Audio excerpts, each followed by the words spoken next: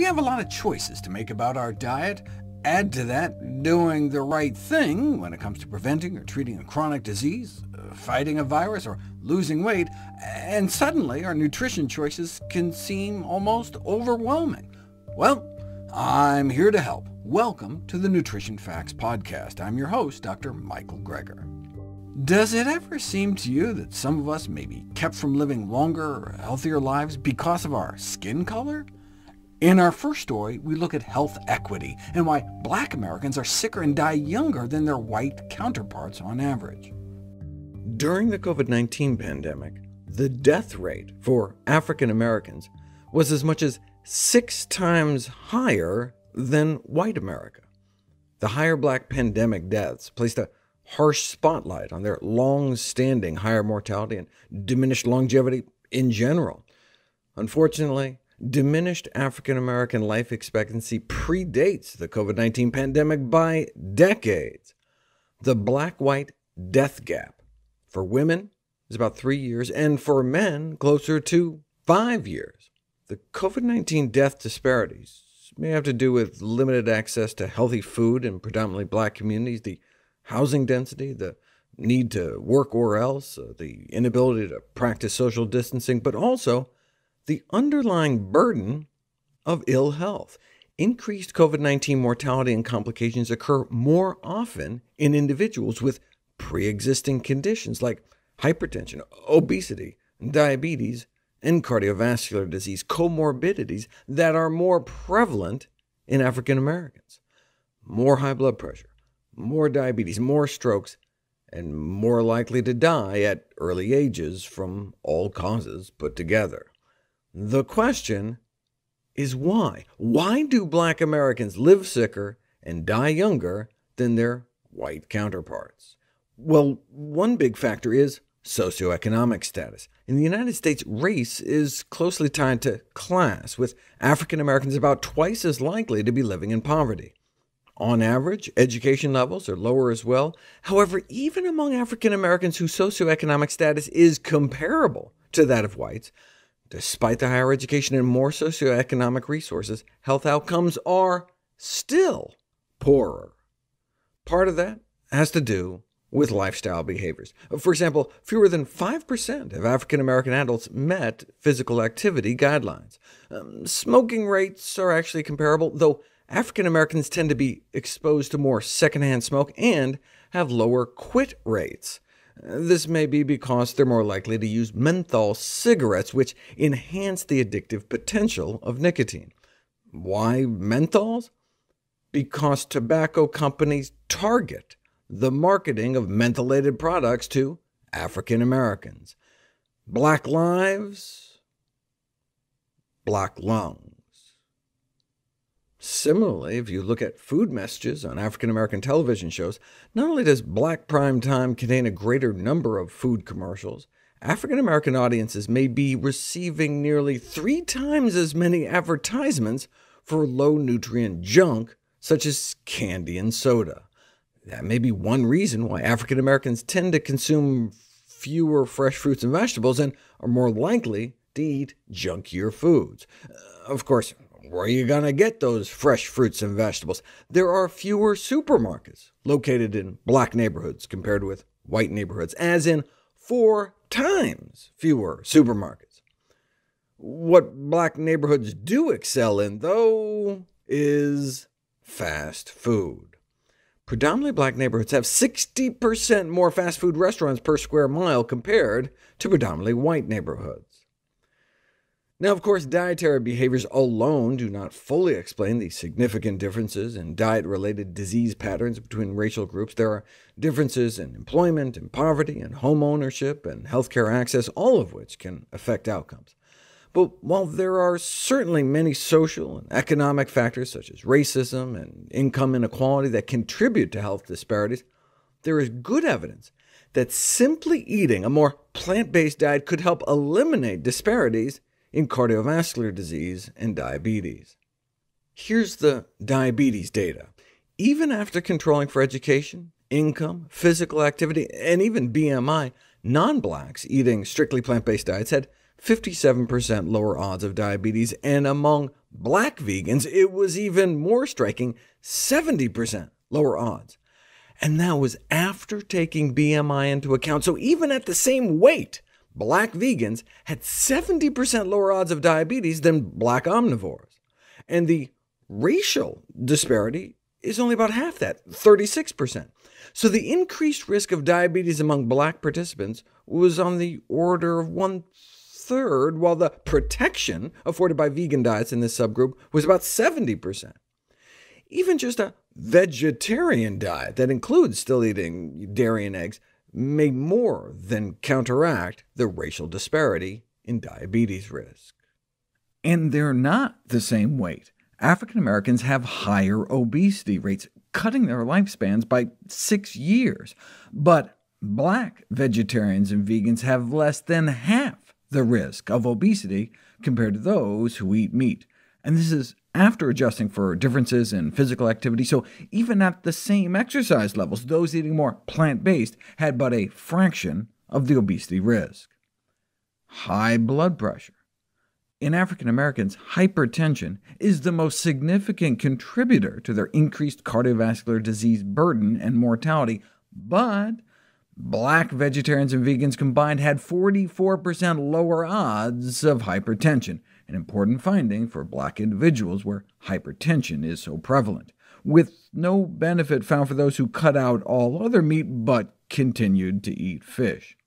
And the same thing found for total cholesterol and LDL cholesterol, cutting odds in half among black vegetarians and vegans. As with non-blacks, the researchers conclude these results suggest that there are sizable advantages to a vegetarian diet in black individuals. What about vegetarians versus vegans? The title gives it all away. Cardiovascular disease risk factors are even lower in African American vegans. Uh, this is something we've known about when Caucasian vegans have been compared to vegetarians. However, it was not known whether African American vegans exhibit a more favorable cholesterol profile until now, significantly lower LDL cholesterol in vegans. Now, of course, the vegans were also significantly slimmer on average normal weight, as opposed to the overweight vegetarians, but even after taking that into account, those eating more plant-based had significantly lower cholesterol. So there's a tremendous potential for plant-based diets to promote health among blacks living in the United States. In fact, they may have an even greater benefit for example, African Americans have an excess burden of chronic kidney disease, uh, not only because they have more high blood pressure and diabetes, but there are genetic factors. 8% to 12% of African Americans are carriers of the sickle cell trait, uh, which places them at significantly higher risk of kidney disease. So while blacks represent a relatively small fraction of the U.S. population, they account for more than a third of all patients on dialysis due to chronic kidney disease. And that's where plant-based diets can come in, shown to protect against both chronic kidney disease development as well as progression. Three-quarters of blacks are lactose intolerant too, so would again stand to benefit even more from eating plant-based. It is unacceptable that for decades the American healthcare system has failed African Americans and other minority communities in terms of helping to prevent some of our leading killers. But that just makes it all the more important for them to take the reins of their own health destiny. In our next story, we look at what role diet and baby powder may play in the development of fibroids and ovarian cancer. If you randomly select a group of women and ultrasound their uterus, the majority of them have fibroid tumors by age 50. And by most, I mean more than 80% of black women, and about nearly 70% of white women. Half of white women already have fibroids by their early 40s, and the same could be said for African American women in their mid-30s. After getting over the shock of how widespread fibroids are, the next question becomes, why the racial disparity? Is it diet, stress, environmental exposures? maybe whatever it is could offer a clue as to what causes fibroids. For example, African Americans tend to have a lower intake of fruits and vegetables, and fruits and vegetables appear protective against fibroids, particularly citrus, though not apparently just citrus juice. It's interesting, if you measure the levels of beta-carotene in fresh surgical tissue samples of uterine fibroids, and adjacent normal uterus tissue obtained during hysterectomies, you find significantly lower concentrations in the fibroids. In fact, beta-carotene was not even detectable in half the fibroid specimens. The same thing is actually found in cancer. Most cancerous tissues tested had undetectable levels of beta-carotene compared to the normal tissue right next to the tumor. So maybe decreased levels of beta-carotene somehow plays a role in causing these conditions? That sounds like a bit of a stretch, but you don't know until you put it to the test. But there had never been a randomized controlled clinical trial of fruits and vegetables for fibroids until never. They did do a randomized controlled trial of a kind of a fruit and vegetable at the same time, tomatoes, but for the prevention of fibroids in Japanese quail. And, and most of my patients are not Japanese, nor quail. The action of lycopene, the red pigment in tomatoes in an animal model, may not accurately represent lycopene action in humans. And indeed, the Harvard nurses study found no apparent link between lycopene consumption and fibroids. So yeah, fruits and at least green vegetables may have a protective effect, uh, but we won't know for sure until they're properly put to the test. Vitamin D is another possibility as to why African Americans disproportionately suffer from fibroids. Women with darker skin are more likely to be vitamin D deficient. As many as 80% of black women may have inadequate levels of vitamin D, compared to only 1 in 5 white women. Vitamin D does inhibit fibroid cell proliferation in a petri dish. It may be able to shrink tumors in your pet rat, but what about people? A population study did find that women with sufficient vitamin D levels in their blood had about a third lower odds of fibroids, consistent with the finding that women who report lots of sun exposure also appear to be protected.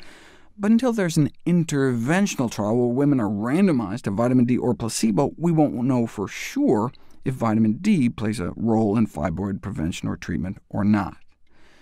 African American women are also more likely to sprinkle baby powder on their genitals, uh, which may not only double the odds of fibroids, but may increase the risk of ovarian cancer, the deadliest gynecological cancer.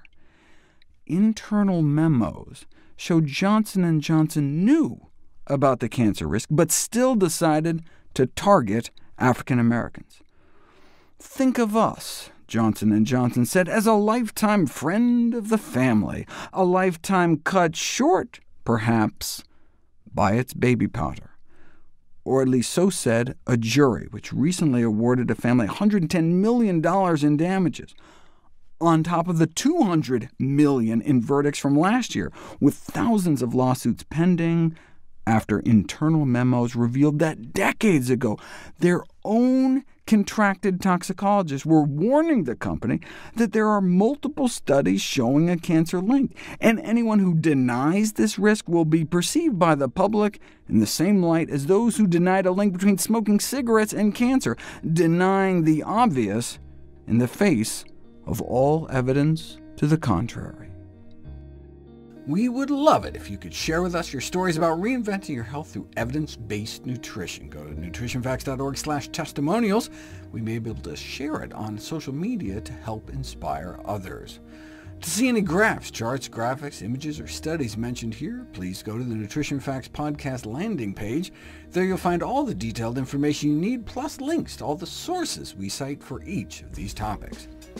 For a vital, timely text on the pathogens that cause pandemics, you can order the ebook, audiobook, or the hard copy of my latest book, How to Survive a Pandemic, or go to your local public library for that matter.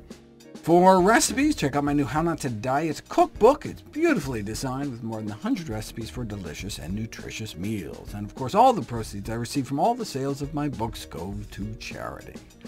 NutritionFacts.org is a nonprofit, science-based public service where you can sign up for free daily updates on the latest in nutrition research via bite-sized videos and articles. Everything on the website is free. There are no ads, no corporate sponsorships, no kickbacks. It's strictly non-commercial, not selling anything. I just put it up as a public service, as a labor of love, as a tribute to my grandmother, whose own life was saved with evidence-based nutrition.